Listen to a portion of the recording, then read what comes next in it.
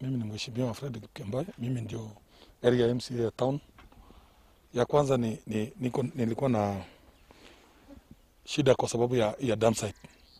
Nafikiri mimi nimekuwa MCA wakati ile kwanza na sasa, na wakati hiyo tukisonga, Mheshimiwa Gavana mwenye alishindwa mwingine akakuja, tulikuwa tumeweka pesa ya mwaka mbili. Tulianza na 25 million tukaongeza na hata 25 million ikakuwa 50, lakini wakati gavana alikuja akabadilisha hiyo pesa, nikajaribu kutetea, lakini unajua huko bungeni wanaamua vote inaamua, alafu baadaye wakaweka pesa, wakatoa hiyo pesa kwa supplementary, wakaweka 10 million. Hiyo million 10 million tena basi supplementary akatoa, tukarudia tena 15 million imeenda. Ndio unaona ile shida tuko nayo hapa hapa. Hii ni shamba ya hospitali na hii shamba ilikuwa ni ya kusaidia wale, kuna wale watu, watu wakifariki hawana mahali wanaenda, huwa tuna tunaweka hawa, tunakuja tunashika hapa, lakini unaona vile wamemwaga takataka juu yake tena. Na pia ile shida nilikuwa naona ni wale watu wanakunywa maji kule mtoni.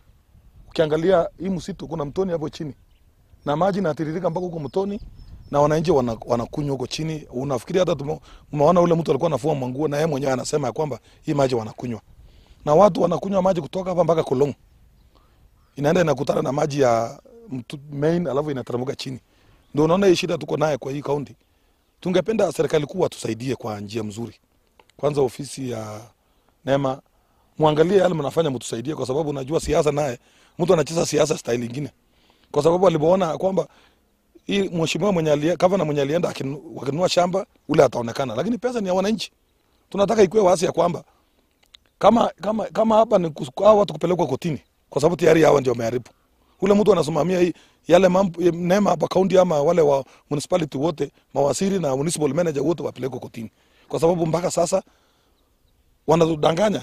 Wakati waziri wa de- de- devolution anakaa chini kwa cabinet, yeye huwa anapeana nini, anasema nini, na anajua hii ndio shida tuko naye. Nafikiri hawa ndio ningesema pia hawa watu wastakiwa wapelekwe kotini. Tunaomba ofisi wa nema mtupatie barua, mtupatie okay. Mimi naweza enda kotini kuwastaki kwa sababu pesa si yao, pesa iko. Hata nafikiri kwa hii mwaka sijaona pesa imewekwa ndani, hiyo mwaka ingine walitoa. Nafikiri wacha niwapatie nafasi, tupatiwe nafasi au wapelekwe kotini ili waanze kuangalia wananchi, kwa sababu hii ni maisha ya wananchi.